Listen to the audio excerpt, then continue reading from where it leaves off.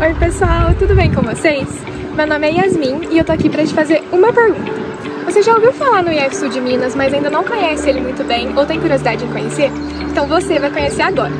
Eu estudo aqui, atualmente eu faço o terceiro ano do ensino médio junto com o curso técnico de informática e nesse vídeo eu vou te mostrar um pouquinho do campus e os cursos que ele tem a te oferecer.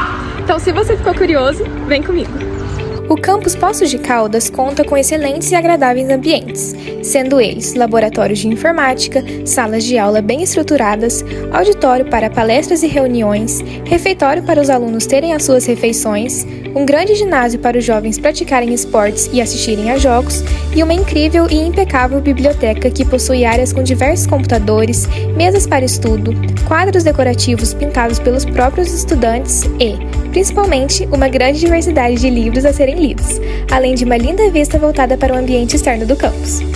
Aqui, você tem a oportunidade de realizar cursos técnicos integrados ao ensino médio, como informática, eletroeletrônica ou administração, cursos superiores, os quais incluem engenharia de computação, ciências biológicas, geografia, letras, administração e gestão ambiental ou comercial, além dos técnicos subsequentes e pós-graduações.